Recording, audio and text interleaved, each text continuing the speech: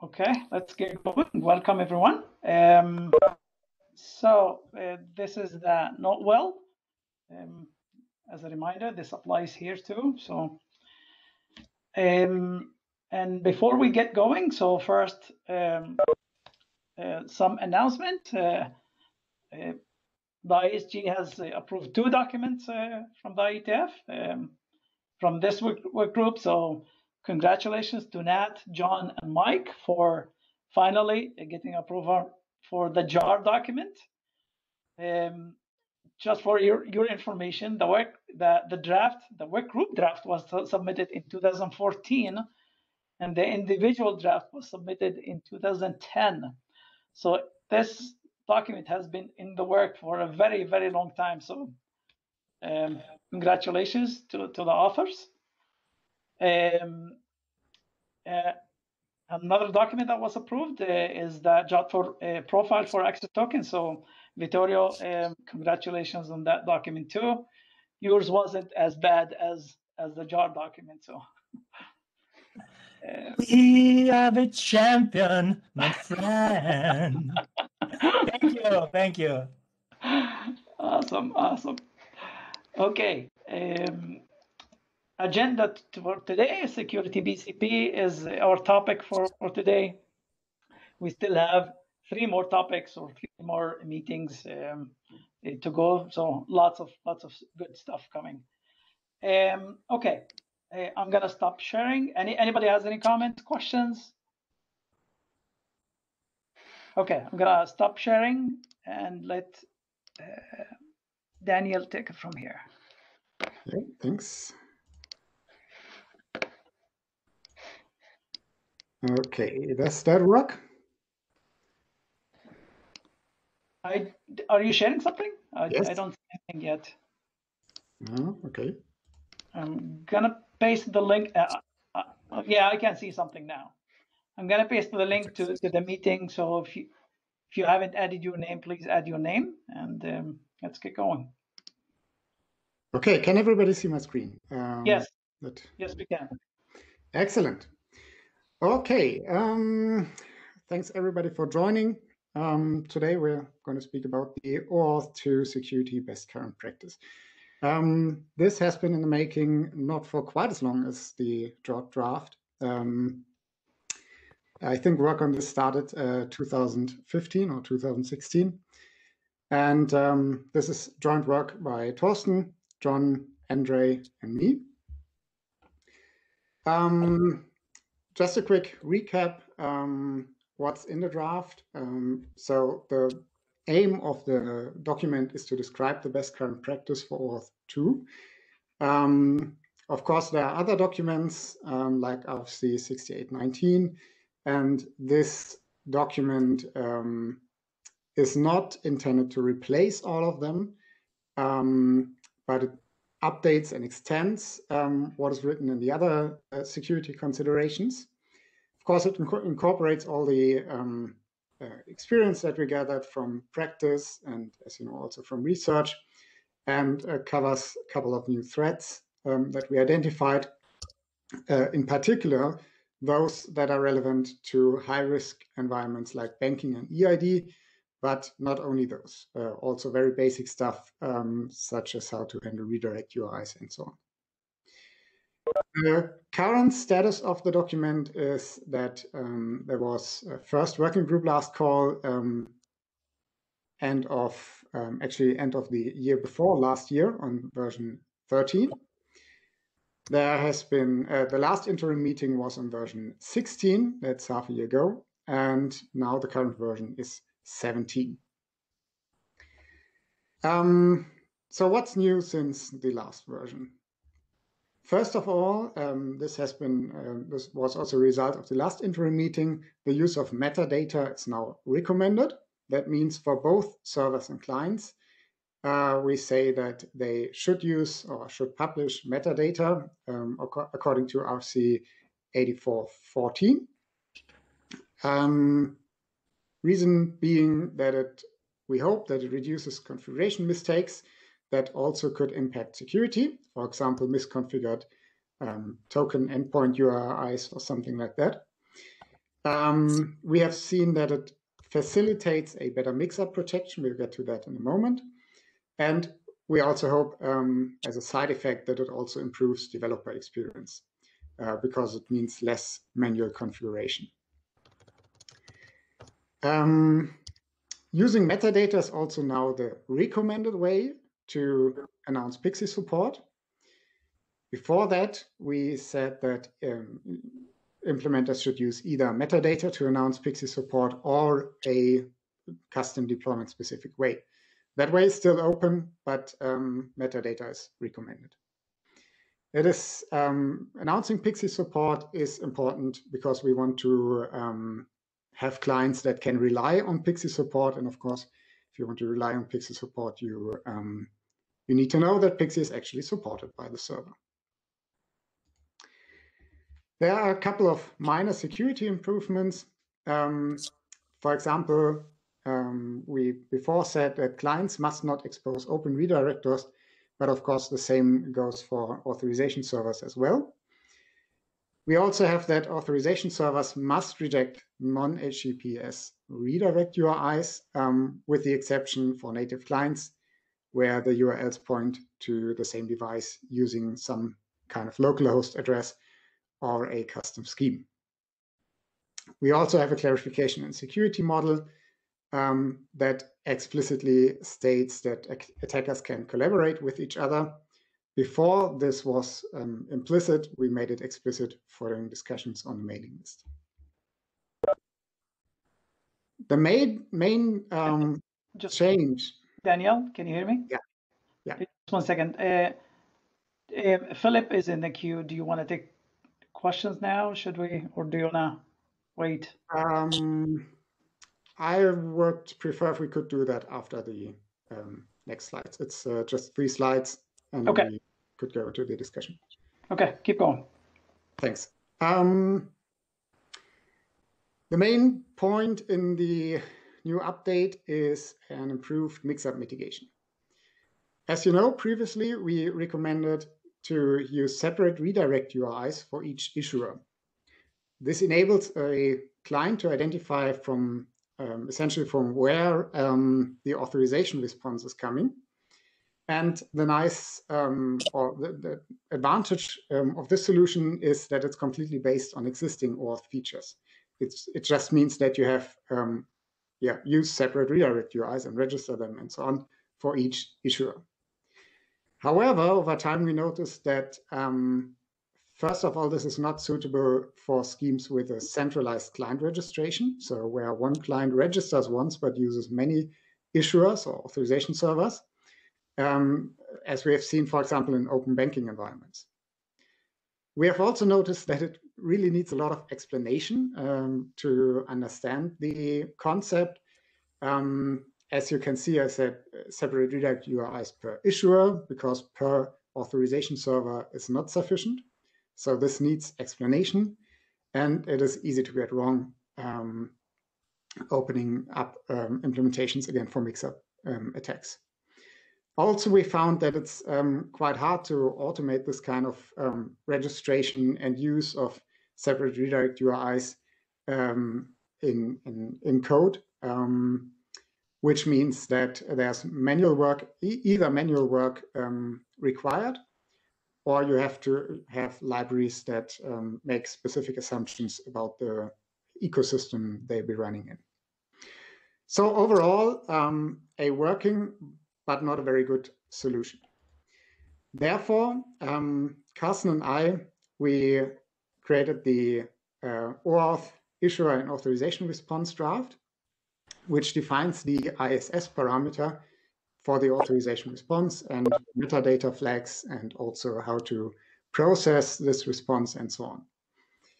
And um, this parameter, of course, is nothing new. Um, this has been discussed since um, mix-up attacks were first discovered. It's something that for which we've already formally proven the security. Um, so it's a, it's a good mechanism. Um, and it's easy to automate in libraries uh, because it's very simple to just check this parameter in the authorization response. Um, when you know that uh, it, it should be there. So you have the metadata flag, you can look at it and then process this response parameter. So um, we found that this is a much cleaner solution, even though it requires this new parameter, but it, um, it's a uh, it's much cleaner and easier to implement, and also it needs uh, much less explanation.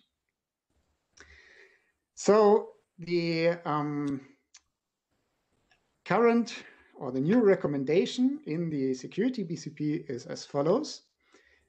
First of all, a mitigation against mix-up is required when the client interacts with multiple authorization servers.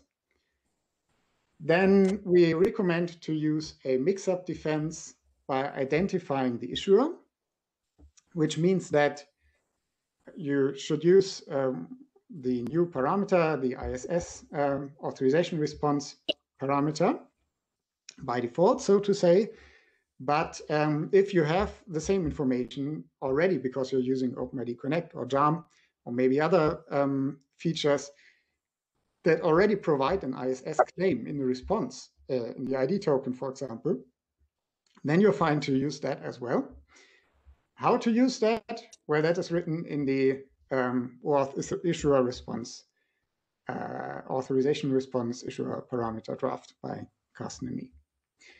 Alternatively, if, for example, you don't really have issuers um, because you don't have metadata and OIDC and so on, um, or maybe there are other reasons why I wouldn't uh, use um, one of these two options, then there's still the alternative of using per issuer redirect URIs. But um, there are several things you need to watch out for. You need to process this in a certain fashion. And the details for this are still in the auth security topics. So you can still do that, but um, it's recommended to use the easier alternative. This means that we now have um, closed one of the what I found big issues with the security BCP, and that is a robust defense against mix-up um, attacks. Um, overall, I feel that we have all the important areas now covered. Um, we also have some experience with this in practice already. Um, of course, many people are already following uh, the recommendations we have, although it's only a draft in more specific, it is also the foundation for OAuth for the security part of OAuth 2.1. And in the OpenID FAPI working group, we have the new profile FAPI 2.0 already aligned with the security BCP, telling you very precisely how one um, instance of this could look like. We also have a couple of future topics um, that might at one point go into the same BCP or go into different um, BCPs or RFCs. For example, um, you've maybe seen the um, discussion that we had on the mailing list regarding uh, specifics of mobile environments. Um, I feel that there's a lot of um, yeah, a lot to learn in that area, or a lot to that we still need to write down. For example, how to do secure app-to-app redirections on on Android, iOS, and so on. But this goes way beyond the scope of the security BCP. So I wouldn't recommend to put that into the security BCP, especially because it's not um, new attacks that we're seeing there. It's essentially um, variants of existing attacks. So I would propose to update BCP 212 or RFC 8252, um, which is all for native apps. Um, with these details, and also what we will see, um, pretty sure, is that the higher security level that we achieve right now, and also with FAPI2 and OAuth 2.1, um, and the new security model that we introduce, will probably bring people to also expect a higher level of security in certain areas. So I expect that um, over time there will be new topics coming up, um, maybe new attacks that um, people come up with, and I feel that these should go into future updates of the BCP. We can't leave the BCP open forever. So I feel that overall the status of the document is better than it has been um, at any time before. And this in my opinion, is ready for the next working group last call. And if we do that, would be great if at the same time we could say that, um, so to say, whatever attacks we have not come up with yet um, go into a future update of the BCP so that we can close this document um, or draw a line um, in order to not keep it open and update it forever. So that's it from my side, and let's start the Q&A or discussion or whatever. Okay, um, first, um, I'm gonna post that link um, to the chat here. If you haven't added your name, please, to the list, go ahead and add that because I see uh, we have 18 people here, but uh, what I see on uh, on that page there, we have less number of people here. So please add your name to the list. Um, and now let's go and open it for questions. I think Filip is in the queue. Thank you, Rifaat. Um, Filip Skokan, Auth0. Um, Daniel, if you could please go back to slide number five about the minor security improvements. Um, the second point where the AS must reject non-HTTPS redirect URIs, there is an exception for native URL, native client URLs pointing to the same device. Um, now in the draft, also in your presentation, it mentions with localhost URI or a custom scheme. Now, BCP 212 actually says using localhost is not recommended and in general proposes to use loopback URI rather than localhost. So I'm not sure if the draft is using localhost as the actual host name or if it's ruling out the possibility to use loopback addresses uh, in favor of using something which 212 says is not recommended. Um, at least the intention is not to disallow anything from B BCP uh, 212. Um, so I, I'll check the wording and um, yeah, so we, we want to allow um, loopback as well. Any loopback. All right, cool. Thank you very much. Okay, uh, George. Uh, just a second. Which uh, BCP was that? I'm taking notes. Yeah, go ahead. Um, Two that's one two. 212. That's the AppAuth uh, pattern. Auth for native. Thank you. Yeah, so I guess the only point I was going to make is that we probably shouldn't recommend or, or mention. Uh, I don't know. I worry about the the whole custom scheme thing, um, because the two one two specifically says don't use it's it's it's best practice to not use custom schemes and instead use claimed URIs. Yeah, um, we refer to BCP 212. Okay, so so the, we, We don't, don't have any. make- We don't want to make new recommendations. It's just um, essentially we, we only care about the HTTPS part or not HTTP part in non-localhost UIs. Okay. Yeah, I was just thinking, you know, it, it might be it explicitly in in in the BCP if we're explicitly mentioning custom scheme, it might be better to replace custom scheme with you know claimed URIs Yep. eh, and leave the customs. Uh, I don't know. I, I see your dilemma. Um, ugh. Uh, you, you know, you, you specifically kind of have to mention custom schemes because that's the non HTTP part. The claimed URIs are going to be HTTPS, Yep. right? But by by pointing those out, I'm afraid it's going to point people to using that mechanism versus the other, which is problematic. Yep. Um, that's that's a very good Okay. point. Um, I have it on the radar now, and maybe we can just refer to a specific section in uh, 212. Okay. Maybe- Yeah, that that might be simpler than in calling it out and then. Yeah. Cool. Thanks. Okay, anybody else has any comments, questions?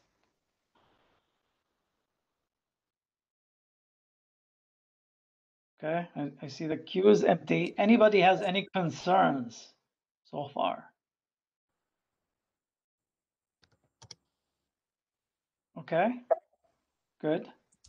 So, okay, um, I think, um, I'd like to see if they, if this, uh, the, the people on the list here on, on, on this meeting here is uh, ready to go for um, quick group last call. So um, I'm going to ask you to uh, to hum for that by adding plus one to, to the list. So go ahead, uh, Dennis. You have a question. Dennis. Thank you. Well, I, can you hear me? Yes, you can. Fine. Well, I guess everybody saw the conversation this afternoon on the mailing list about one of my favorite topics, which is not privacy, but which is uh, the Alice and Bob collusion attack, where Alice and Bob are two users and they want to attack the, uh, server, the RS server. Well, currently the document is referencing all, well, basically the old document, which is 6819, where you have the following sentence. Two of the three parties involved in the OAuth protocol may collude to mount an attack against the third one.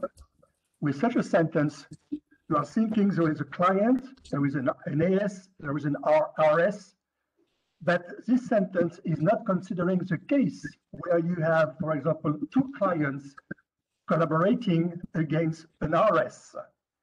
And uh, it is supposed to be addressed in the new document, which is the updated OAuth2 attacker model in section three of the current document. But it is not the case because this document is considering different kind of attackers. A1, which are web attackers, it's also considering A2 networks attackers. It's considering the A3 attackers that can read, modify the content and so on. Attacker 4 that can read but not modify. And attacker 5 that can acquire an access token issued by AS. None of these attackers are considering can be considered as collaborating client voluntarily collaborating together against the RS. So the model is not sufficient today. It doesn't cover that case. And there's not a single sentence at the end of the paragraph which says attacker can collaborate to reach a common goal that allows to consider that the client collaboration attack is covered. So I really insist that to be covered. And I also insist because there is a solution or there is a countermeasure to counter this kind of attack?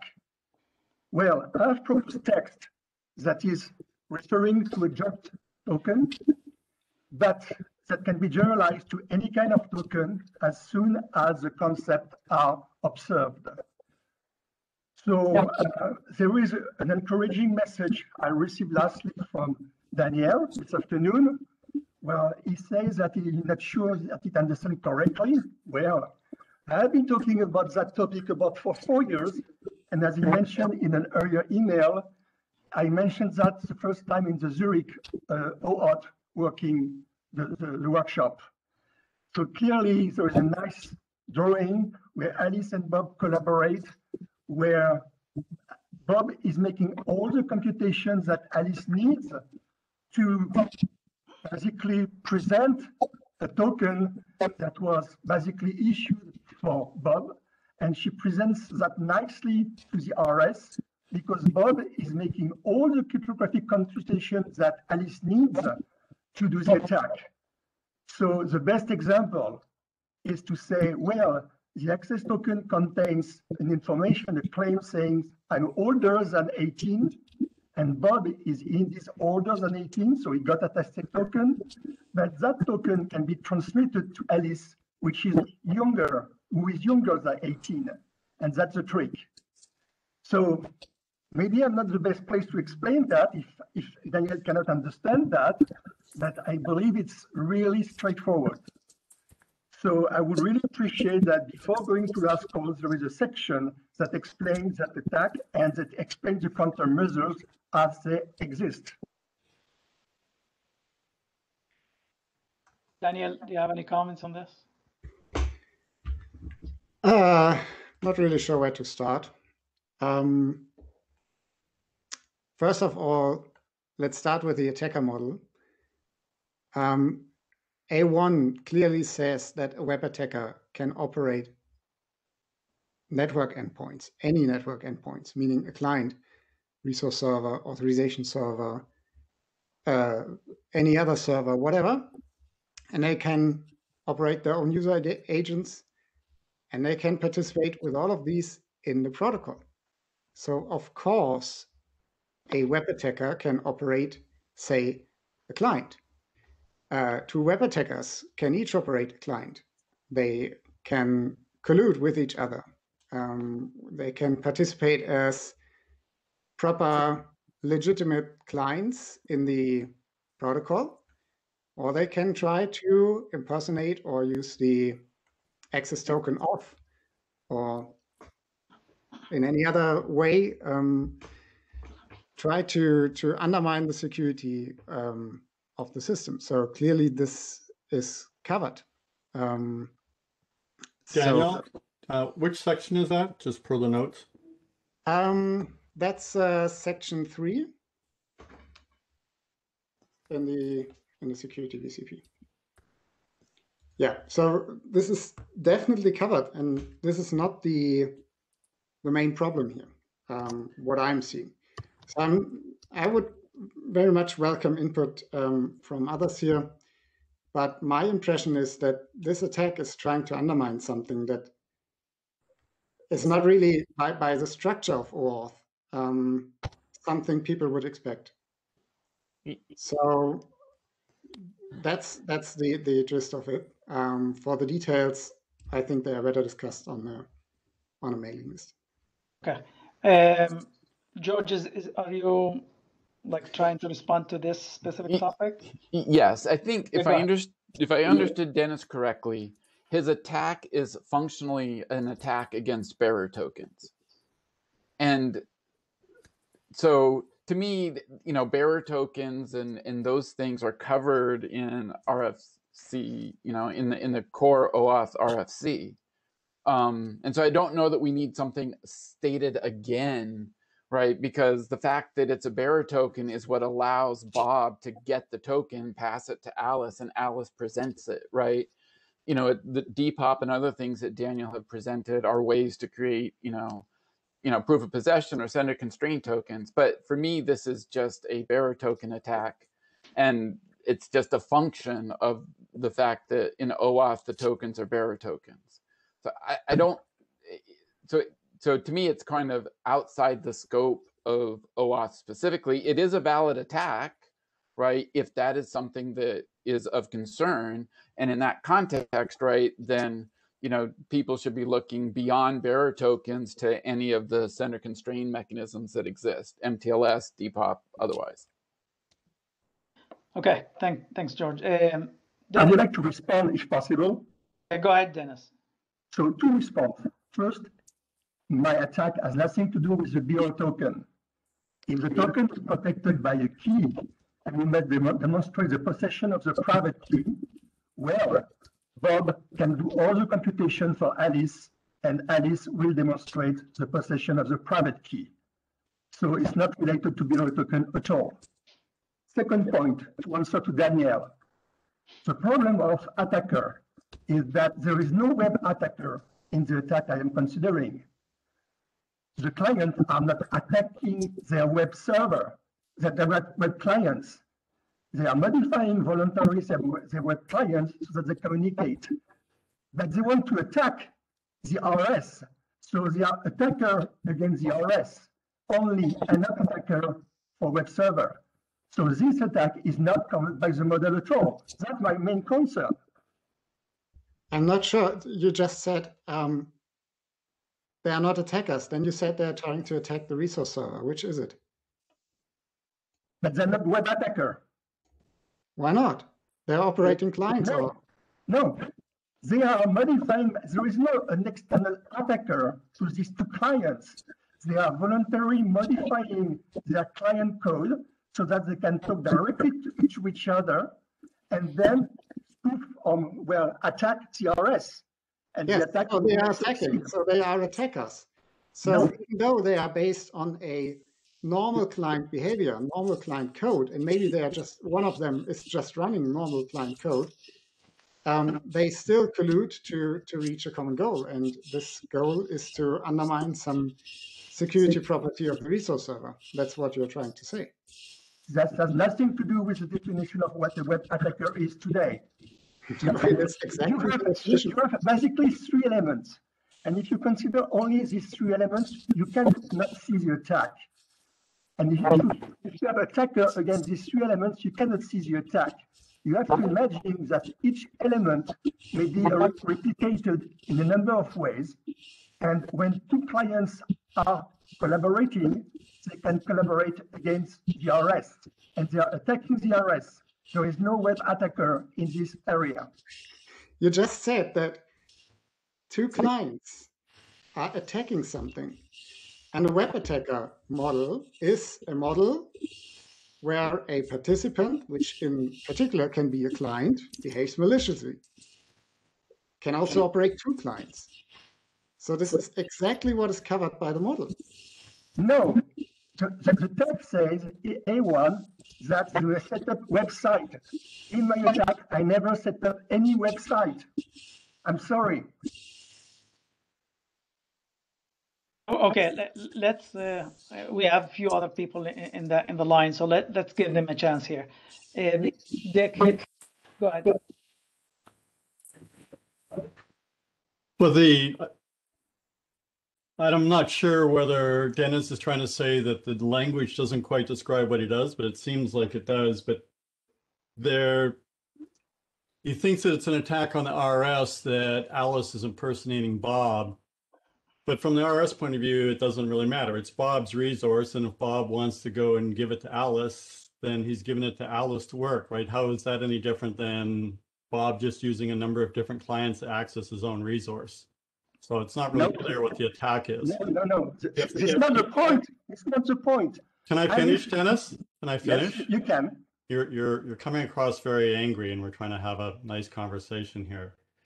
The if you if the attack is that the RS only wants to you know let people over 18 access something, you're now moving into an identity protocol instead of an authorization protocol, which is out of scope of OAuth, which is an authorization protocol. You know, Bob owns a resource at the RS, and Bob has a client that is accessing that. You know, by definition, that's what OAuth is. If if you're looking for trying to prevent an attack of somebody proving something that they're not, that isn't OAuth. Okay, um, Justin, Yeah, um, just to follow up a little bit from what George was saying, this isn't just uh, limited to bearer tokens because if uh, Bob is willing to share his access token, Bob is, and that's the key point, Bob is willing to share his access token. Bob is probably also willing to share his private keys to make that presentation. It adds an extra step, but it doesn't actually prevent anything. Uh, but more importantly, what it also doesn't prevent at all um, is Bob just going in doing things for Alice. Like this, as far as the resource server is concerned, uh, Dick's 100% correct here. This is Bob doing everything. It doesn't matter to the resource server, like the person running the software uh, on the other side, because the identification and authorization artifacts in play here are abstracted from the entities in the real world. And uh, so this so-called attack, as uh, Dennis is describing it, is completely equivalent to Bob taking his existing software, calling Alice and saying, all right, which API calls you want me to make? All right, I'm going to go make those, and I will just email you the results of all of those API calls. Bob's allowed to do that. And as far as the RS is concerned, this is exactly the same as a different piece of software with the access to all of the same authorization, uh, sorry, authent, authorization information. Yes. Uh, so the keying material and the token material um, with any proof of possession mechanism making the call. Can I okay, respond? yes, go ahead, uh, Dennis. Well, two points. First, Bob is never sharing his key. Bob is making some cryptographic computation at some point of time only to help Alice. So Alice never knows the private key of Bob. That's a key point. Second point, some people spoke about impersonation. Of course, and that's the key, key issues. If if we'd be able to identify in the access token that Bob is calling, then the attack would fail. So the important point to have success with this attack is that the access token does not contain any identifier able to identify that it is Bob. And then the attack may succeed because no one will know that Bob has helped Alice. And that's a key point. Now, as soon as the RS is able to relate that token to Bob and not to Alice, then the attack will fail. And another point, the communication is done by Alice. Alice is using its own HTTPS sessions. She is using that. And as soon as the access token will have been accepted, she can do whatever call she wants because now she is more than 18 and she can ask whatever movie she likes and things like that. And Bob is not able, able even to know what Alice will be doing now that she's 18. So that's another key point. Um, can I respond to that, please? Yeah, go ahead, Justin. Yeah, uh, no, no, and no. So, um, my gosh. Uh, okay, so Alice is making the call with Bob's token material. So uh, any auditing system would tell Bob, hey, these are the calls that your account is making. Like this is not, um, you know, this is not Alice acting as Alice and doing something with an attribute of Bob's on a session that she has. This is Alice acting as Bob, impersonating Bob and being Bob for all intents and purposes. This is not Alice pasting Bob's birth date onto her driver's license in order to go buy alcohol. This is Alice taking Bob's driver's license and the store being able to say, hey, Bob, your driver's license showed up here. Um, you know? And so I, I think there's a lot of conflation of different layers of security that's happening in the description of this t- attack, most of which are not relevant to the layers of security that are addressed by this level of protocol. I feel we don't understand ourselves.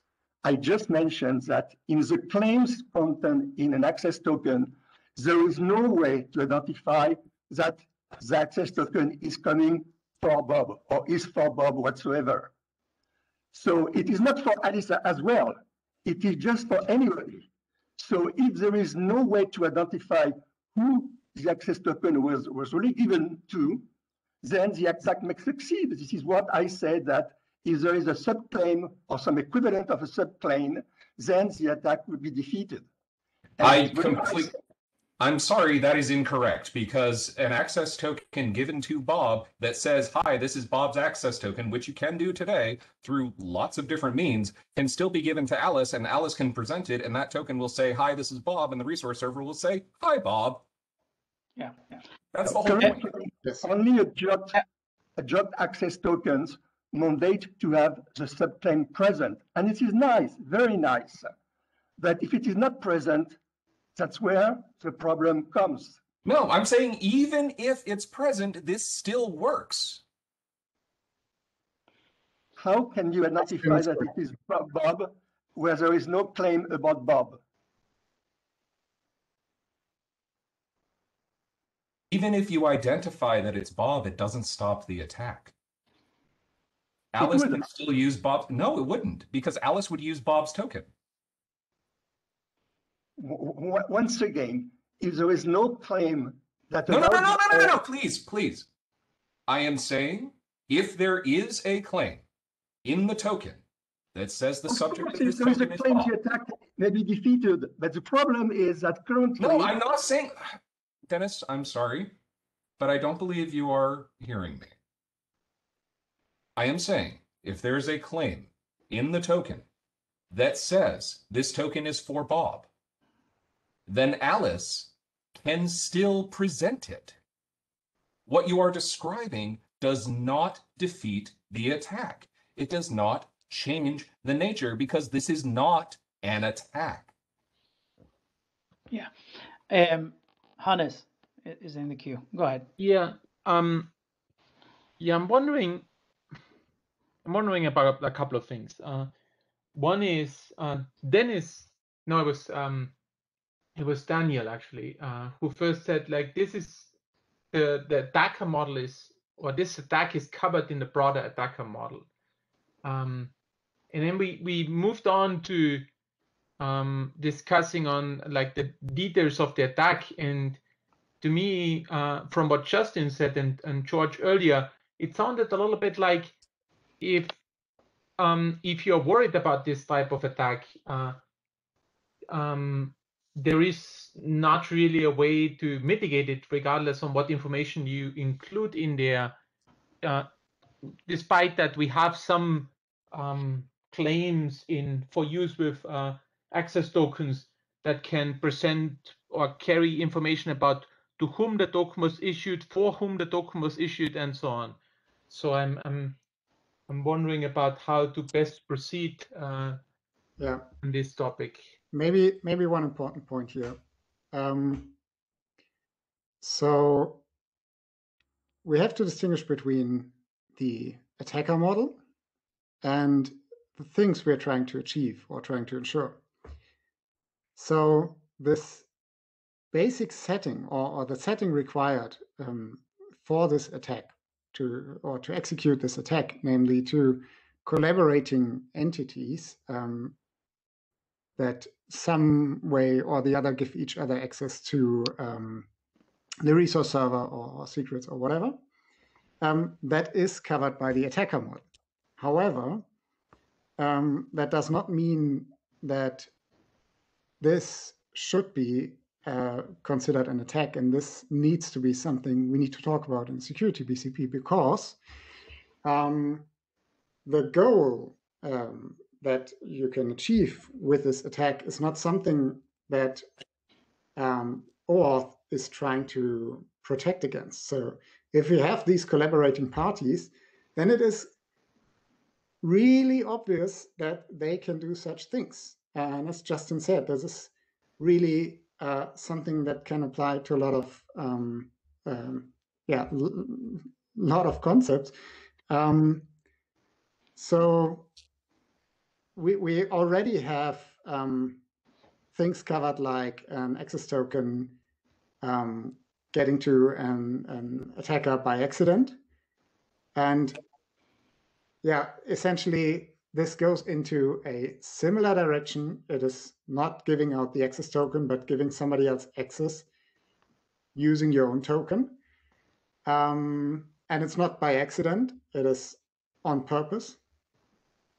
But really, this is nothing that, first of all, you can, as we have just seen, uh, really defend against with the things we have. And second, it's not really something you would expect somebody um, needing to defend themselves against. Uh, yeah, thanks, Daniel. Um, yeah, I, uh, that's a that's a good um, question or a good aspect to distinguish uh, between the attacker model and which attacks we we care about. Uh, so a, question to you, Dennis. Um, why why do you care about that specific attack? Is that something that uh, you encountered in in like practical deployments or or how did you run into this issue well that's a very good question um, one of the most difficult points to be solved today is to to demonstrate that you are more than 18 without saying who you are. And that may be valuable under some conditions. And I have presented at the OAuth workshop in Zurich in 2017 the solutions that never nobody really looked at because I, I believe I was too early. So, well, I have designed, I have not experienced, but I've designed a solution able to solve that concern. And um, at the moment in the ISO working group, uh, there is a, a, proposed new work item proposal to tackle the problem of age verification, to know whether you are more or less than 18 or even during a range of ages. Well, I believe that OAuth can cover the point in under some cases, but it cannot cover the point unless there is somewhere in the access token a specific subject identifier that allows to identify that it is that the, the claims are related to Bob and not to Alice. So what I'm simply saying is that if you have some identifier that indicates that the access token belongs to Bob, that's fine. There is no more attack possible. If the RS is checking that indeed this relates to the Bob account, opened, for example, using the sub-identifier of Bob. But if this is not present in the access token, then you have a problem. Now, I know that OAuth cannot go any further in the direction because there is no relationship between authentication identifier and subject identifier used in uh, OAuth. However, if you use a smart card, you may do that link. But this is outside the scope of OAuth, but I just wanted to indicate that it is possible to prove that you are 18 without revealing who you are. So basically, you are older than 18 and you demonstrate that under a pseudonym. Okay. Uh, Okay, yeah, so I wasn't ju- aware just one of second. uh, this Hannes, specific. Hannes, Hannes, Okay. one second. So I'm gonna cut the line after Aaron because we want, I wanna try to wrap it up and see what, what we can do next step. So Hannes and then Aaron, and then after that, we'll, uh, we'll, we'll try to make some decisions here, take some steps to, to move forward. Okay, go ahead, uh. Hannes, yeah. Yeah, I was um yeah, I wasn't aware of this uh of this new work in ISO on this. Um so I I'm curious as to whether um you would then or your plan is to um contribute to that work and contribute OAuth plus some new um let's say claims that you could register and and maybe that could actually be um a possible approach. I don't know if ISO wants to develop something entirely new um, or not, or whether they are interested in in sort of reusing and extending on top of OAuth.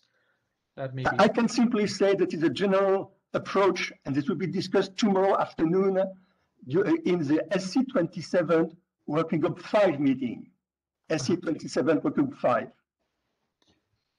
Okay, I am not If you are participating if you are a member of that working group, you can participate tomorrow to the first discussion on this topic. Okay. mhm, Thanks. Okay. Uh, Aaron, and after that, Justin. Okay, but Aaron, go ahead. Yeah, I just wanted to say thanks for clarifying the scope of of the use case, and that sounds firmly out of scope of OAuth. As soon as you are talking about identities of users, that's not really where OAuth is uh, based in. It's not the goal, and anything you're talking about attributes of users or identities of users, that's much more in the realm of OpenID Connect and several other extensions and it doesn't really have a place to bring that stuff back into the core unless we start expanding the scope of OAuth, which I don't think anybody is uh, very excited about. So given that that is the main concern is handling claims about users being over 18 and things like that, it's just not an OAuth problem. So it's not something that even makes sense to address in in the spec, I don't think. And I agree that uh, Justin's Justin's point in the chat of sol- solving that by including more information about users sounds like a privacy violation. Uh, so I, I I don't even think that's the right path to go down, and it's just not part of the scope of of OAuth. Thanks, Aaron. Um, Justin, and and we'll wrap up after Justin. Okay. Yeah, um, all very, very good points, Aaron. Thank you. Um, I just wanted to raise that I think there might be a way to address this topic in the BCP, but in a different way. Um, because uh, what I believe and what I'm hearing from others is that this isn't describing an attack on OAuth, at least as any of us uh, consider it. It is, however, describing some fallout of the nature of the protocol. Whoever can present the information is the presenter of the information, basically. Um, and to me, it seems like the security BCP would be a good place to discuss that kind of thing. We already have text in there about if you're presenting a bearer token, then you're you're using the bearer token. And the same would be true of DPoP keys or MTLS certs or any other proof of possession mechanisms or or anything like whoever has the what we can or you know even client secrets and things like that um, whoever has the secret material can act as the party for the secret material. So if you share that with someone else, they are by definition able to impersonate you because these secrets are what differentiate you from everyone else. And yes, including pre-computed uh, calculations of presentations under that umbrella.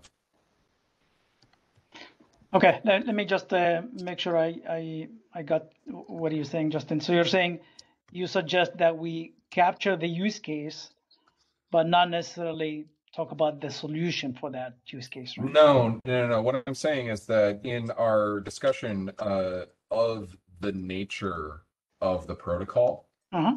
um, in the BCP, it- this this isn't a use case. This isn't an attack. This is just kind of how things work. And um, what what kind of made me think of this is uh, is every time Daniel said, "Well, this is obvious," and I agree that it's obvious. But part of the job of spec writers is to write down all the obvious things for the people who don't think that it's obvious. Sometimes, Okay. right? Like the introspection spec says that the server must be able to introspect the token in order to introspect the token. I, I think that's obvious, but we still put that in, right? In order to set the appropriate expectations for the server uh, and for server developers. So uh, I'd, I'd like Daniel's, like, if he's got a hot take on on including this. I don't think it has to be a deep discussion on this, but th- this is the nature of the protocol and and the systems. Daniel, do you have any thoughts on this? Um, yeah, Justin, I think you're right. Sometimes it's good to write down the obvious. Um, and I think um, that shouldn't be an issue at all.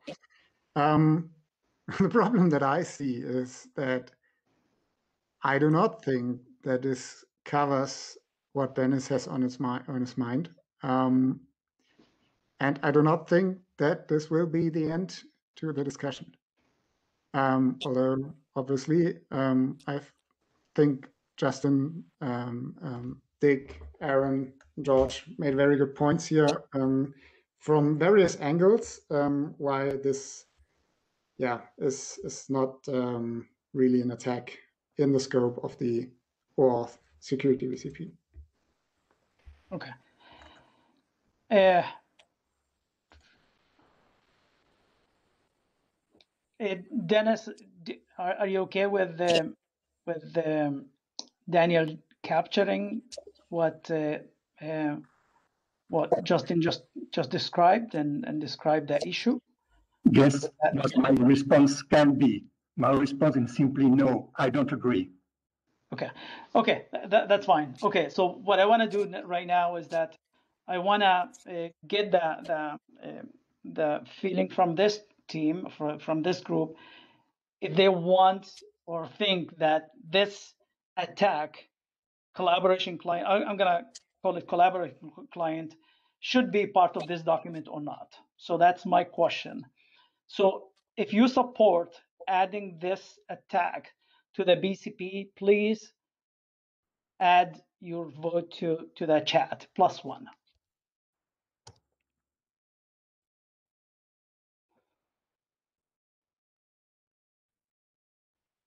Okay.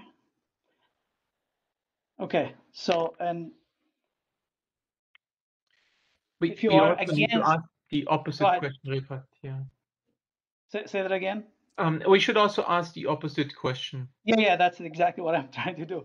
If you are against adding that um, uh, collaboration, collaborating client attack, please add your um, your yourself to, to the chat there. Plus one.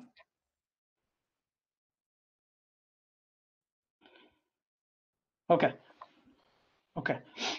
Thank you, guys. Uh, okay, so I think uh, there is clear kind of support of making sure or not adding this to, to the list to, of, uh, of things to address in the, uh, in this document. So uh, this this topic is closed right now.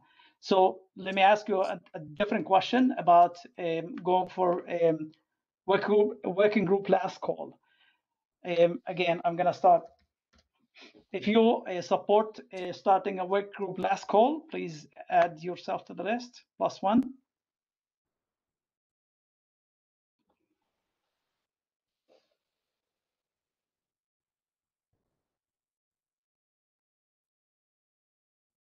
Okay. And if you're against starting a work group last call, please add yourself now. Okay. Um, okay, I think uh, there's clear support for moving forward with the document as is with the with the, some um, changes that we discussed earlier about uh, Filip's point. So uh, otherwise, I think um, the document is ready to go to work group last call. Uh, and we'll take it from there after. Uh, so Daniel, after you update that document to represent or to reflect that change, uh, we will start a work group last call.